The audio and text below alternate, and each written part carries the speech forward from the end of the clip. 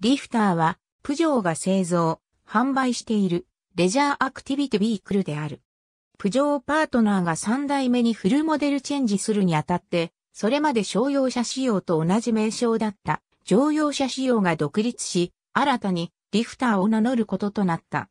2018年3月6日、ジュネーブモーターショーにおいて初公開された。プラットフォームにはグループ PSA の EMP2 が採用される。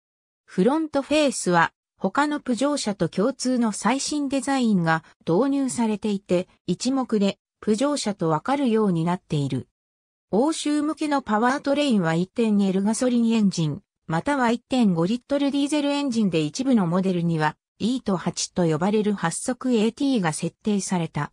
足回りは兄弟車のシトロエンベルランゴと比較するとタイヤが約 30mm 大きく車高も上がっている。欧州向けには5人乗りと7人乗りが用意され、全長はそれぞれ 4400mm、4750mm である。また、最新の先進運転支援システムが充実している。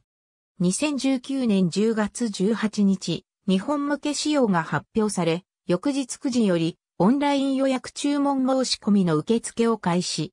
導入されるのは特別仕様車、デビューエディションで1.5リットルディーゼルターボエンジンと発速 AT、E と8を組み合わせる。2020年11月25日、カタログモデルを販売開始。導入されるのは、アリュールと特別仕様車 GT ラインファーストリミテッドで、後者には大径アロイホイールが装備されるほか、ブラウン基調のツートンインテリアや上級ファブリックのシート表記が採用されている。